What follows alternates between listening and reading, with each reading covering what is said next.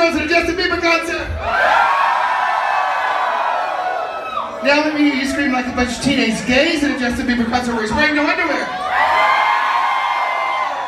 Now let me hear you scream like a bunch of retarded kids who just realized that was not chocolate in the toilet. Y'all are good, okay.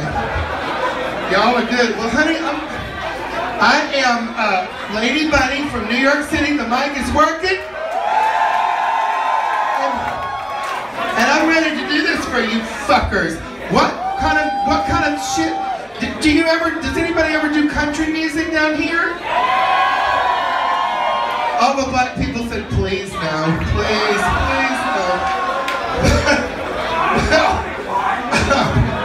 Are there any Gretchen Wilson fans out there? Uh, Miss DJ, we're going to do a redneck woman just a second when I say hit it.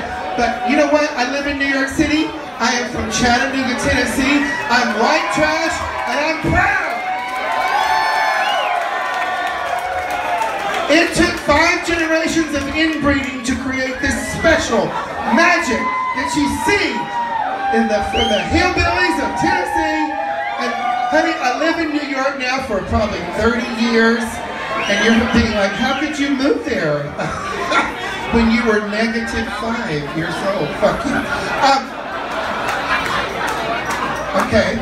Uh, the the uh, you know, ageist behavior is alive and well. There's some very age ageism is real. It's a real form of prejudice. I encountered some very ageist cops today who were banging on the door and then came in and grabbed me so hard that I dropped my poppers bottle. They wanted to know what I was doing for two hours in the boys' room at Chuck E. Cheese. They are sick. Anyway, if I try to do country song in New York City, they will boo me off the stage like y'all earlier. but I'm gonna try one now that I'm in Houston, Texas. Please, DJ, hit.